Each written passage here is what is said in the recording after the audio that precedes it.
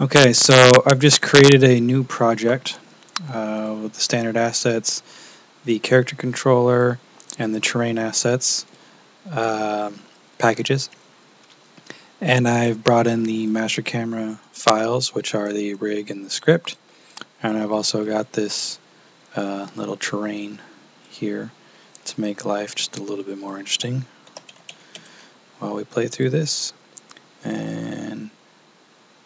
so we'll start out with just the regular old camera that comes with the third person controller in Unity. I'll just drop this guy in here, pull him up.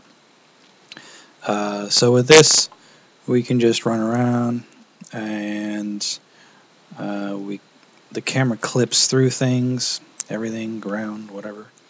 And it can be a little uh, annoying to line up with stuff uh, kind of slow. it works pretty well, but when you're trying to do like a maze or something, you're clipping through all the walls and then you can't even see yourself, which can be a little frustrating. Uh, and we can do a lot better. Master camera allows us to very, very quickly, easily, and with versatility, and do quite a bit better. So let's take a look at that now.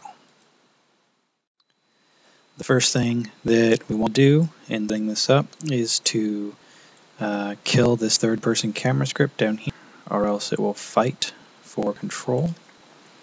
So we'll kill that. And we don't need the main camera uh, because our rig has its own inside. So we'll grab this camera rig here and we will throw it anywhere into the history of the world and it will automatically find our player when we get it set up.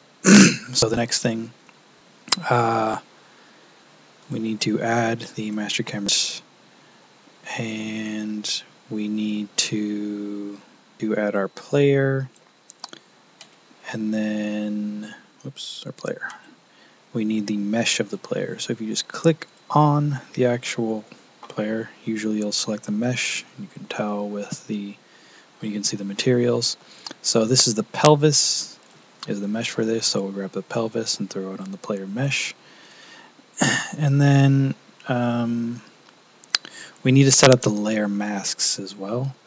Uh, and for that we need the correct layer. So for our, well, both our third person controller and our master camera rig, uh, we need to add them to a new layer, which I always call player because it's easy. You can name it whatever you want. Um, so we'll take our third person controller and set it to player. Yes. And then our master camera rig is set up to be that layer already. And so we want our layer mask to hit everything, uh, hit everything except our ignore raycast as normal and our player layers.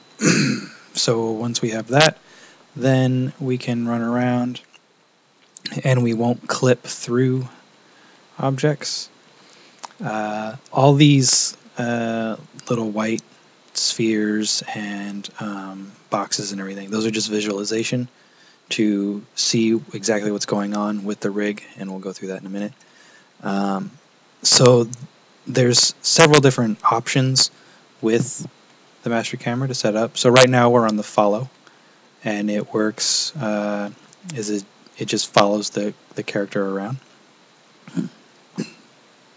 and so we can check through the different kinds like uh, mouse follow and mouse horizontal just allows you to move on the horizontal axis axis with the mouse. So wherever the mouse goes forward is what the camera's looking at. And so you can walk forward and then left and right and towards the camera, which is back. And you can also scroll in. You can do this with all the cameras if you set it up to.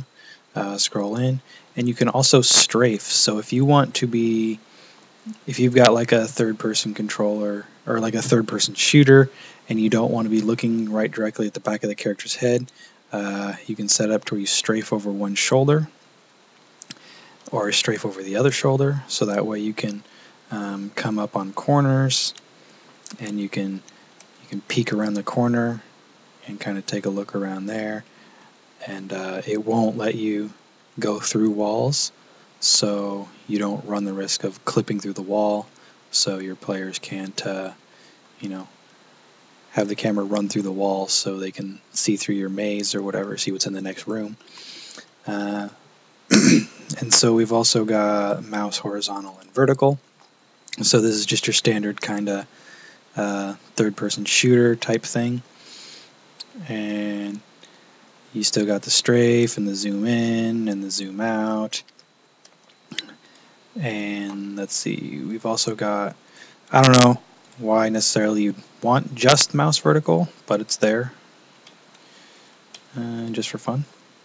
And we've also got follow with button look. So this is if you just want uh, like your regular kind of follow camera to follow the character around, but then you get to a place where, well, that's really fast. We can adjust that too. But uh, you get to a place where you want to let the player just kind of look around at their surroundings. You can, in this case, it's uh, uh set up to uh, left click uh, by default. So you can just left click and spin all around.